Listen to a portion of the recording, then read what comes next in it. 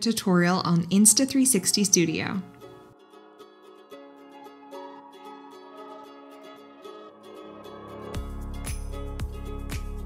Step 1. Download and install. Go to Insta360's website, click Downloads, select your camera, find Insta360 Studio and download the version for your operating system. Then double-click on the Insta360 Studio package to install. Step 2. Preview 360 degree videos. Using a 5.7K Insta360 ONE R video as an example, drag the video into Studio. 5.7K videos will generate two files. You can drag either one into Studio.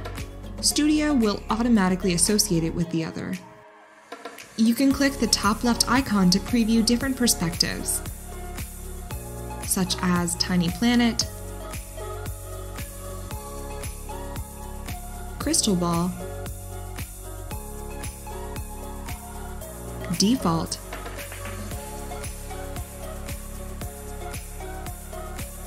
Natural View, and Flat. You can toggle off and on flow state stabilization. And select your desired stitching and audio settings. If you are unsatisfied with the stitching, you can select a reference frame and select Stitching Calibration. Step 3. Edit your 360 degree videos. Insta360 Studio's auto frame uses AI image recognition to recommend your best shots. To use this feature, click the auto frame icon in the file thumbnail. Studio will automatically recognize important subjects and highlights.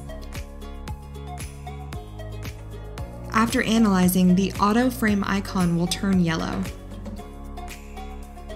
Click the icon to preview the analyzed clips select the clips you want, and select your desired settings to export.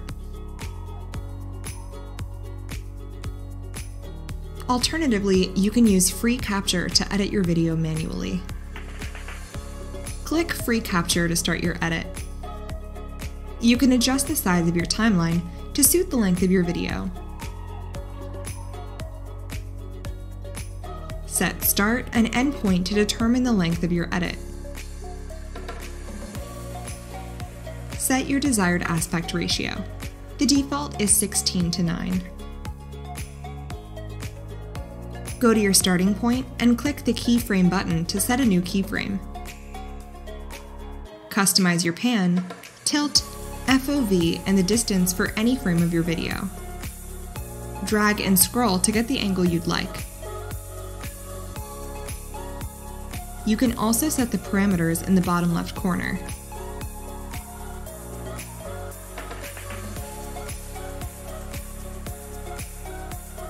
Add as many keyframes as you'd like to reframe the video.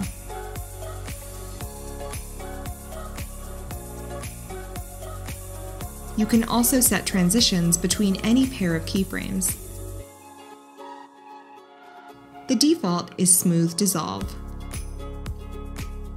If you drag your keyframes to different points on the timeline, their settings will stay intact. Finally, you can adjust the speed of the whole video under play rate. Before finishing and exporting your video, you can save your progress and come back to it later. Select Rendering Settings and Saving Location, then Export.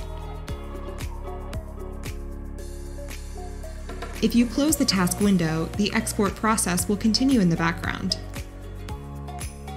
Step 4. Edit bullet time video. Import a bullet time video.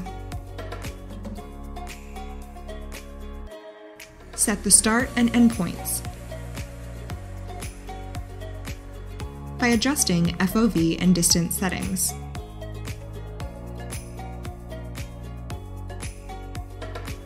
You can control the framing. Select the aspect ratio you'd like. Note, bullet time videos do not support free capture.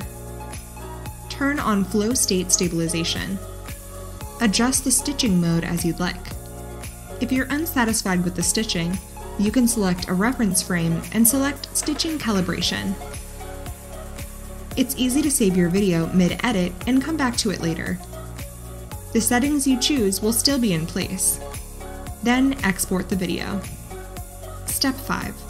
Combine interval photos into a video. Import interval photos. Studio will automatically identify and group photos together.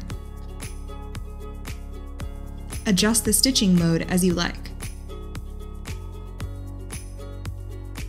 Right-click on the file thumbnail. Select Start Export. Select your desired resolution. Select Merge to Video to export. Step 6. Preview your 180 degree videos. Import your 180 degree video into Studio. Make sure you have checked Flow State Stabilization and Lock Direction. The default projection type is Horizontal VR 180 3D LR. Select the projection type according to your needs.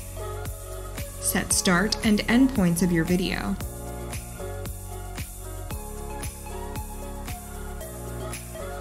Save your editing parameters for future edits. Select rendering parameters and saving location and export the video.